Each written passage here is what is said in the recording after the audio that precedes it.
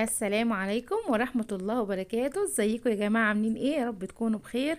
النهاردة ان شاء الله هنعمل مع بعض وصفة جميلة ولذيذة جدا. هنعمل مع بعض الكنافة بالقشطة.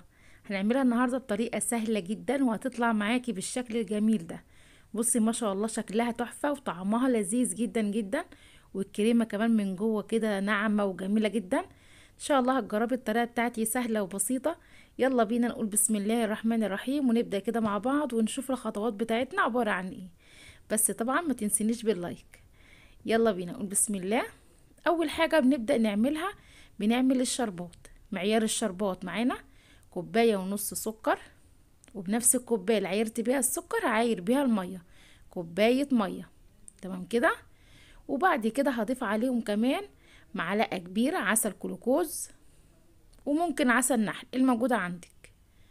وبعد كده بقى احطها على نار عالية. أول ما تبدأ تغلي معايا هروح جاية عصر عليها نص ليمونة صغيرة وهسيبها تغلي لمدة سبع دقايق. اظبط الساعة بتاعتك لمدة سبع دقايق هطفي عليها وأحط الفانيليا وأسيب الشربات يبرد تماما. تمام كده؟ كده بالنسبة للشربات. بعد كده معانا الكنافة أنا جايبة نص كيلو كنافة. أول ما جبتها من عند الراجل حطيتها في الفريزر عشان أعرف أكسرها بالشكل ده.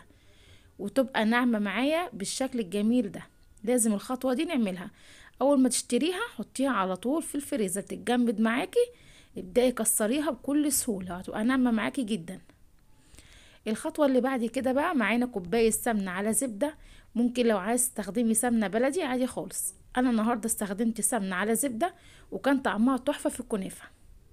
هبدأ أحطها على نار. يدوك بس كده سيحها كده معايا.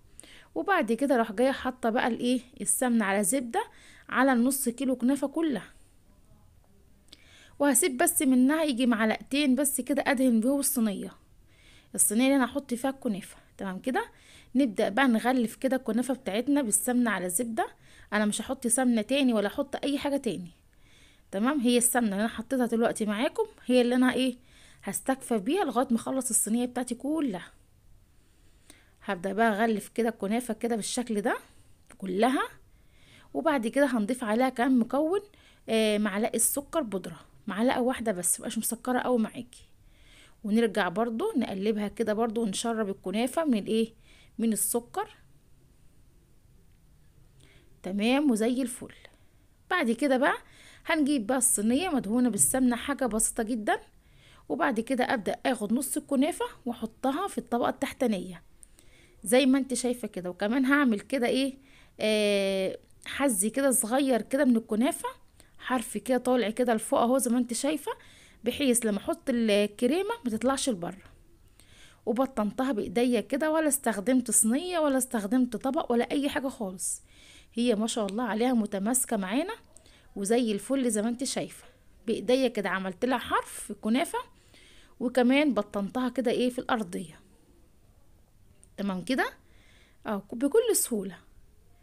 ما شاء الله السمنة والسكر اللي إحنا حطيناهم خلاها معانا إيه متماسكة وزي ما انت شايفة كده.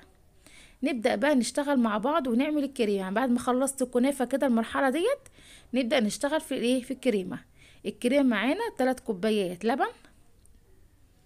طبعا الأصفر اللي على وش اللبن ده ده زبدة وقعت مني في اللبن. فعادي خالص يعني مفيش مشكلة. وأربع معالق من المعلقه الكبيره آه نشا. تمام؟ هفضل بقى اقلب فيهم كده على البارد لغاية لما أدوب مع أدوب النشا مع اللبن. هفضل اقلب كده يدوبوا معايا وبعد كده أحطهم على النار. على النار طبعا هادية عشان ما تشطش منك ولا تخرز ولا تكلكع ولا يحصل لها أي حاجة. هفضل اقلب كده بالمضرب كده زي ما أنت شايفة لغاية لما القوام بتاعها يبقى ناعم كده معانا ما شاء الله وتقيلة كده. كده كده إيه الكريمة بتاعتنا مظبوطة وزي الفل. هروح جاية على طول وهي سخنة أروح جاية حطاها على الكنافة. كده على طول. أهو شايفاها ما شاء الله عليها؟ ناعمة وزي الفل زي ما أنت شايفاها إزاي. نبدأ بقى نفردها كده بقى إيه في الصينية بتاعتنا على الكنافة. وزي ما أنت شايفة كده الحرف اللي إحنا عملناه للكنافة مخليها ولا طلعت لبره ولا أي حاجة يا دوبك جاية في النص بالظبط.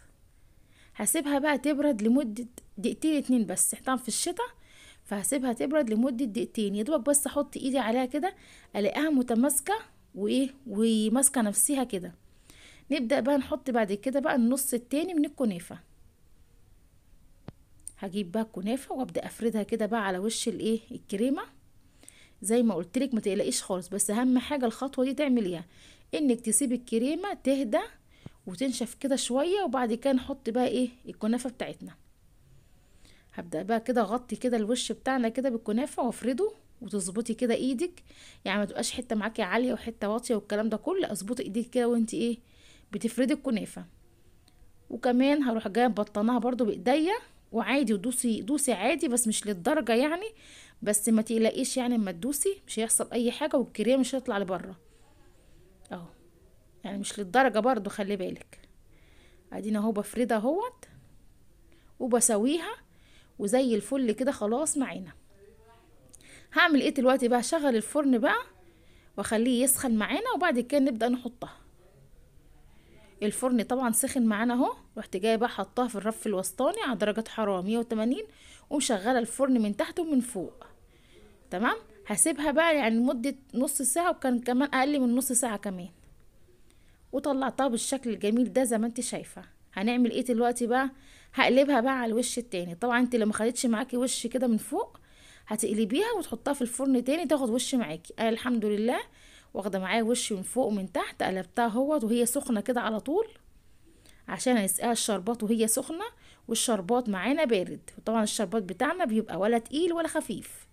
القوام بتاعه بيبقى مظبوط.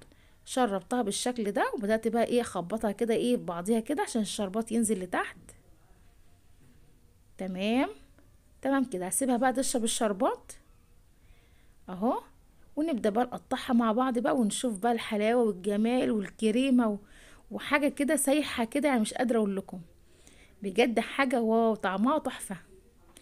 الشربات بتاعها مظبوط والكريمة بتاعتها مظبوطة والشكل تحفة كل حاجة فيها الله أكبر. ابني بقى هو اللي كان بيقطع وأنا كنت بصوره. شايفة ما شاء الله القطعة عاملة إزاي؟ بجد والله العظيم يا جماعة لذيذة وسهلة وبسيطة. إن شاء الله هجربوها وهتعجبكم. أهو امشي بس على زي ما أنا قلتلك بالظبط على نفس الخطوات والمقادير تطلع معاكي مظبوطة. بص اللون بتاعها من فوق زي تحت والكريم في النص كده وشاربه الشربات يعني حاجة كده يا جماعة والله في منتهى الجمال. ما تنسونيش بقى بال like بالله عليكم ال like بيرفع الفيديو. بص نقطعها كده مع بعض يعني طرية تحفة. يلا السلام عليكم ورحمة الله وبركاته.